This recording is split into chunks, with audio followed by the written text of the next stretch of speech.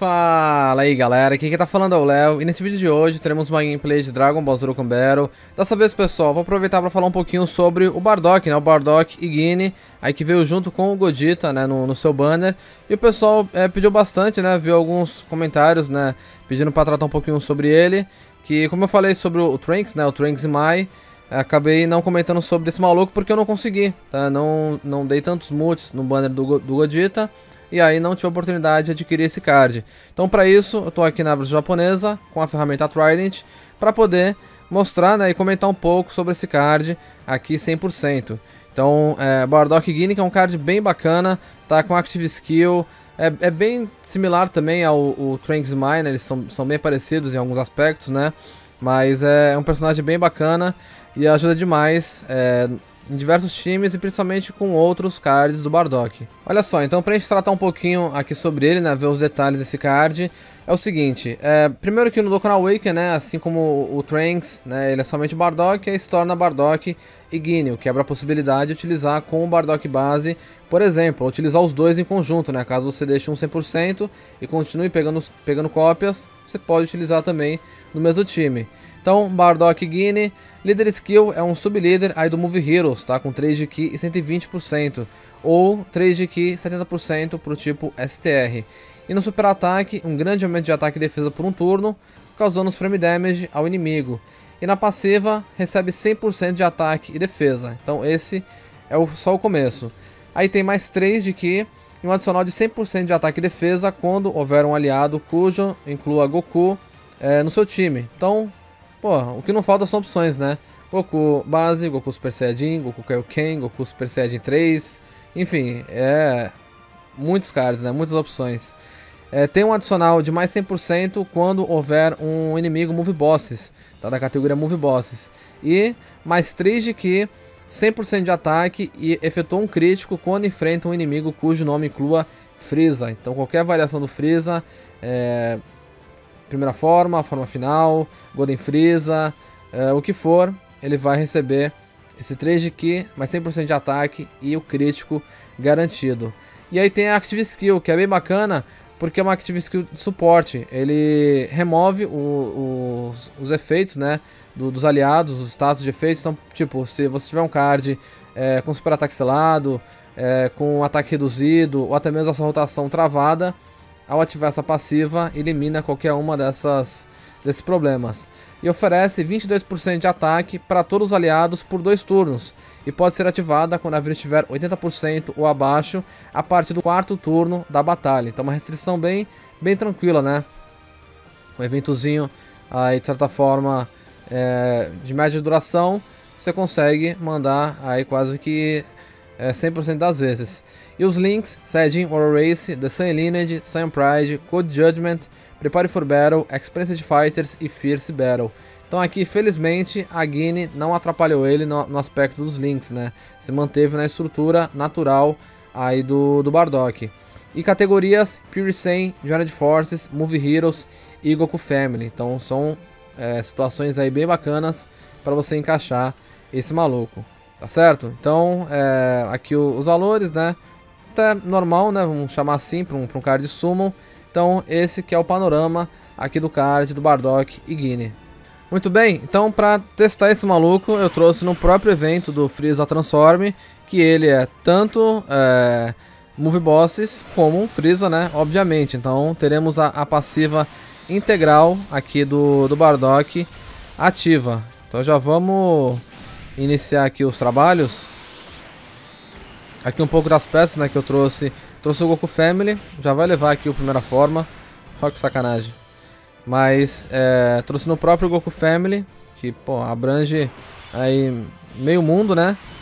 Então, ó, pra linkar com ele, eu trouxe o Bardock AGL, tá? Esse que é uma peça rara aí no jogo, né? Tanto no Global quanto no JP porque até o momento não voltou, né? Só quem fez summon lá no, no, no dia do Saiyajin que conseguiu ele. Eu, eu tenho fortes é, crenças de que ele vai retornar na celebração de downloads. Inclusive tá com a, a sua Active Skill, é, transformação na verdade, né, liberada. Mas eu não vou, não vou focar nela nesse momento, tá? Até para não roubar muito a atenção aqui do, do Bardock e Guine. Mas trouxe porque é o melhor, melhor parceiro, olha só. São seis links em comum. Esse, né, Bardock e o próprio Bardock antes do Dokkan Awaken, né, do, do Bardock Guine. Só que aí não tem o Fierce Battle, então nesse caso aqui ele é melhor. E muito bem, então vamos vamos seguir aqui e o como é o caso do Bardock Guine, do ó, 3 milhões e 600. Vamos só ver o dano ou continua aqui o raciocínio. Pronto, levou uma hit kill. Então, não só ele, né, se favorece ao enfrentar o, Freeza ou algum card Wicked Bloodline, mas o, o Bardock AGL ainda mais. Então, ele tem essa facilidade na transformação, né, 6 virar imediata, e também é, ele, ele causa muito dano. Então, tem, tem várias vantagens ao enfrentar um, um card do Freeza ou também do, do Wicked Bloodline, no caso do, do AGL. Muito bem, acho que eu vou ter que fazer duas rodadas, duas vezes, porque o time tá tão bruto, eu não tô conseguindo evitar os super ataques. E é, tá indo muito rápido. Apesar de que tem várias etapas aqui, esse, esse Dokkan Event do, do Freeza Transform. Então é praticamente uma transformação, uma rotação. Já era. Ó, então temos um suportezinho, certo? E... O outro link ali, deixa eu só lembrar aqui. O link que eles não compartilham. Ah, é o Code Judgment, o link de defesa. Muito bem, então vamos... Vamos que vamos aqui, outra vez.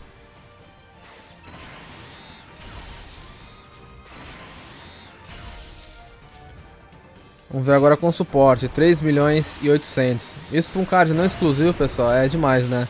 Tudo bem que a passiva dele está integralmente ativa, né? Uma situação não tão comum, né? Você precisa enfrentar um adversário move bosses e um adversário que, que tenha Freeza no nome. Então, né, não é toda a situação que isso vai acontecer. No geral, ele vai ativar é, contra move bosses, mas não necessariamente contra, contra Freeza. Entendeu? Então, é... Ó, vamos dar uma, uma nerfada aqui nessa, nessa rotação. Que afinal é a última etapa, né? Agora.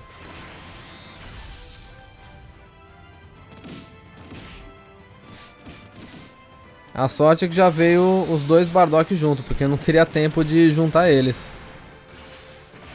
Ó, super ataque adicional ainda. Pô, velho, aí você me sacaneia, né? E levou aqui, então. Procurar outro evento. Bom, pessoal, voltamos aqui agora no evento do Golden Freeza. Então, é, já comecei com, com os dois aqui na rotação, dei sorte novamente. Então, vamos, vamos pra cima. E esse, esse Freeza, eu não, não, tenho, não tenho certeza se ele é Move Bosses. Mas eu vou atacar os outros enquanto isso. E eu dei uma uma passada de olho no, nas informações desse, desse Bardock AGL. E é justamente isso. Quando você quando tem um adversário, Wicked Bloodline, ele, ele já tem a sua transformação liberada imediatamente. E aí, é, além disso, ele tem acho que ataque efetivo contra, contra o adversário Wicked Bloodline. E o. Opa, adicional. Muito bom também, por causa do aumento de ataque e defesa dele. Por um turno. Ó, levou. Então, é, depois da transformação, ainda mais, porque ele pode soltar ataque adicional, e esse, é, é, pode virar um super ataque, e esse ataque é com crítico. Então, nossa, você colocar ele contra um, um Metal Cooler, Final Form Cooler, Freeza, qualquer um desse, desses caras, é atropelo garantido. É, vamos... Tirar aqui o Bardock da rotação. E até, até meio sem graça, né? Porque, tipo, a gente não, não teve nem muita oportunidade de notar isso, né? Porque ele, ele só veio lá na celebração do dia do Saiyajin, né? Quando, quando chegou, quando foi introduzido. E. E tá, vimos um pouco dele e depois ficou esquecido. Então é meio curioso, né? Como funciona a dinâmica do, do lançamento dos cards no jogo porque muitos deles acabam se tornando populares, né? O, o pessoal acaba notando a qualidade, a importância deles é, depois que eles se tornam, né? Que é quando mais gente consegue utilizar. Então é, é, é meio curioso esse, esse fato. Que é um card completamente absurdo. Dê uma olhadinha rápida na passiva dele transformado em Super Saiyajin. Nossa, velho, tipo... Só falta ele fazer chover. Entendeu? Então, é, a gente acaba nem, nem sabendo muito disso, né? Porque fica muito restrito. Enfim, 3 milhões e 800 com suporte ali do, do Gohan. E toma na cabeça, velho.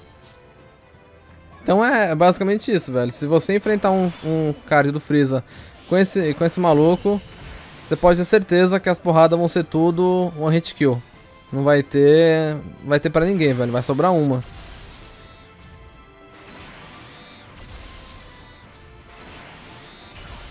Ah, vamos, vamos ver se o Gohan e Goten conseguem se segurar aqui, né? Consegue segurar a onda.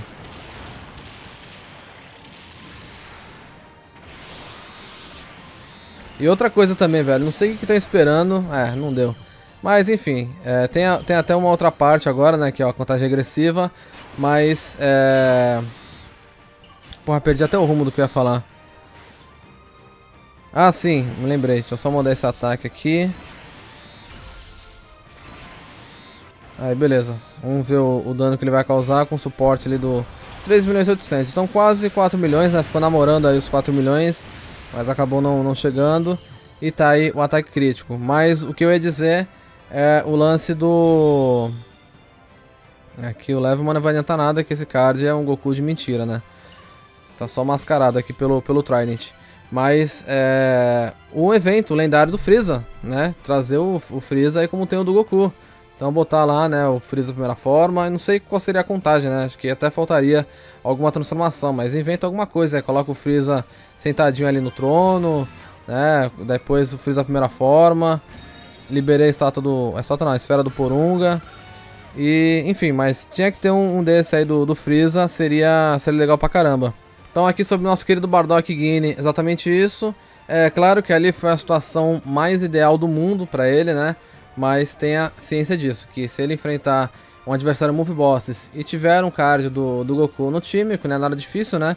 Você colocar ele no Goku Family, no Move Heroes, pode... No Move Heroes até vai ter que puxar algum, né? Um Goku Deus, o Goku, Goku Blue, lá do, da ressurreição do Freeza, mas é, principalmente no Goku Family, pô, já vai ter o líder, né? Que é o Super Saiyajin 4, então já vai respeitar essa condição da passiva. E ao enfrentar um Move Bosses também fica tranquilão. Aí tem esse adicional por ser um inimigo chamado Freeza. E aí, pronto, né? O, o a explosão é garantida. Então, é, é, um card muito legal, velho. Se você teve a sorte de conseguir ele, a gente não conseguiu nem mandar Active Skill, né? Porque foi tanta brutalidade que não, não teve oportunidade aí pra, pra Active Skill. Teria que pegar um evento um pouquinho mais longo, né? Que não fosse tão absurdo aí pra ele. Mas é uma, uma passiva, uma Active de suporte muito boa, né, no estilo da Pan, só que com o diferencial de durar por dois turnos. Então ativa para uma rotação e para a rotação seguinte. Então essa parte eu fiquei devendo para vocês devido à grande brutalidade, né, devido à grande brutalidade que ele proporcionou. Mas é, então é isso. Se você conseguiu, aproveite dessa maneira nesses times e aí você vai ter um aproveitamento muito bacana. Tá legal? Então, por esse vídeo é só, vai ficando por aqui. Espero que vocês tenham gostado. E se gostaram, não se esqueça de deixar aquele gostei e se inscrever se não for inscrito no canal. Então, vou ficando por aqui. Falou e até a próxima.